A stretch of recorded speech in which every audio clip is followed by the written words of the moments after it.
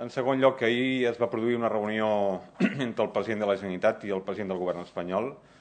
El president Montilla va fer allò que ha de fer, que és urgir el president Zapatero a posar sobre la taula un model de finançament quan abans millor, però deixi'm dir que des d'Esquerra som molt escèptics perquè eh, Zapatero és un consumat especialista en no complir cap dels seus compromisos i, de fet, eh, la seva trajectòria és una mica com allò del conte de Pere i el Llop. Eh?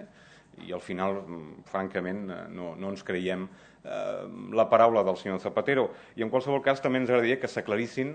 Zapatero i el seu ministre d'Economia i la seva vicepresidenta perquè la setmana passada van dir que no hi havia cap pressa, que probablement atesa la complexitat de la negociació eh, i atès que és un procediment eh, multilateral, doncs probablement no arribarem a final d'any amb una nova proposta de finançament i que d'aquí poc el que tindrem és una no proposta i, i per tant unes bases o un decàleg que a més a més amb tota la gosadia ja ens han dit que no ens agradarà a Catalunya, per tant que s'aclareixin eh, i eh, evidentment una tercera consideració. I és que és molt important el quan però és molt important el què